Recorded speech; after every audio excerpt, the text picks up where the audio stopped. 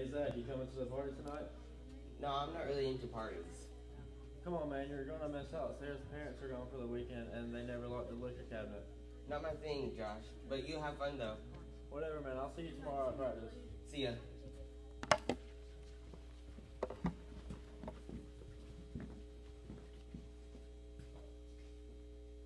No, Josh, you're too drunk.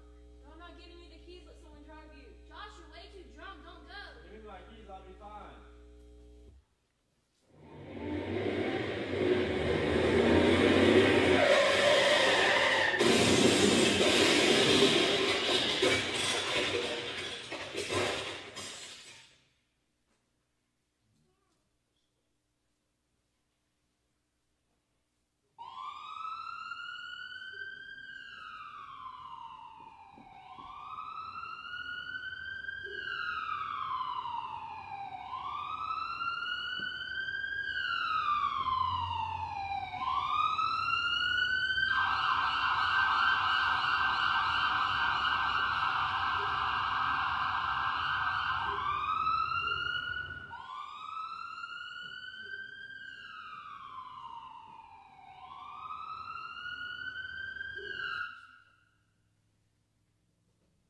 What if?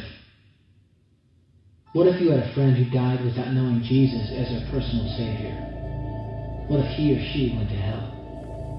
What if one day you received a letter in the mail from beyond? A letter from hell. A letter from your friend in the flames of eternal torment. The following is a dramatic presentation. It was written by a fictitious high school student named Josh to a friend named Zach.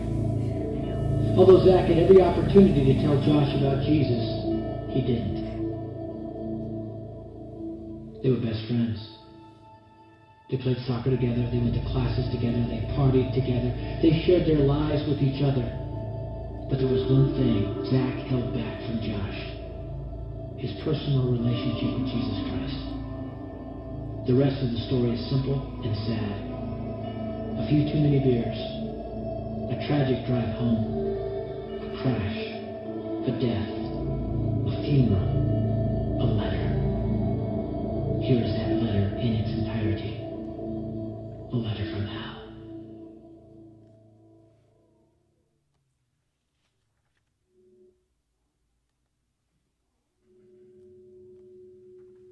Dear Zach, I died today. It's a lot different than I expected. See, I always thought dying would bring me into a world that's foggy and hazy. But this place is crystal clear. It's even more real than my life on earth. I can think. I can talk. I can even feel. Right after the wreck, I could feel my spirit leaving my body. It was the weirdest thing, Zach. I thought I heard you screaming out to me, man. I must have been just imagining things. At first, I was just standing in line, getting registered, I guess. They asked me for my name and began to look in this thing they call the Book of Life.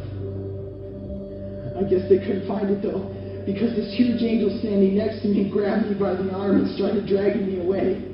I was terrified. I had no idea what was going on. I asked the angel where he was taking me, but he didn't answer. So I asked him again. Finally, he told me that only those whose names were written in the book of life could enter heaven. And the rest would be condemned to hell forever. And I was scared.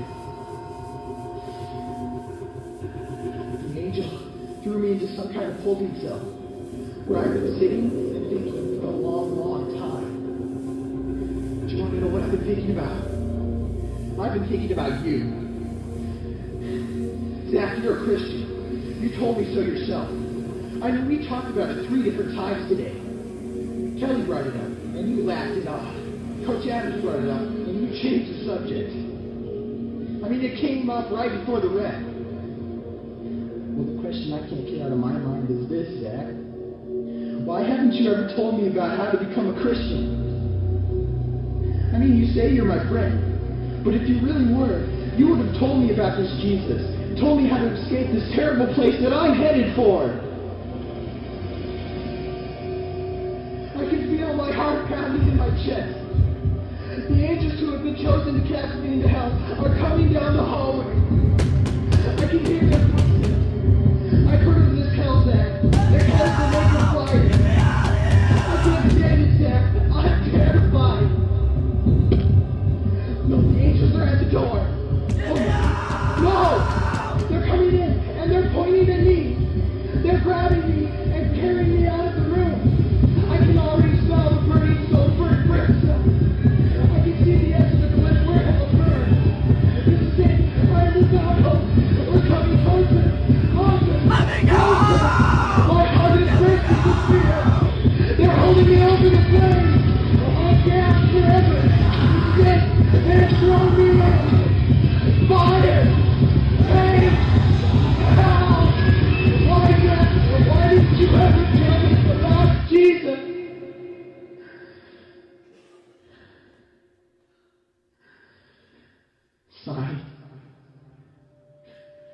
Your friend, Josh.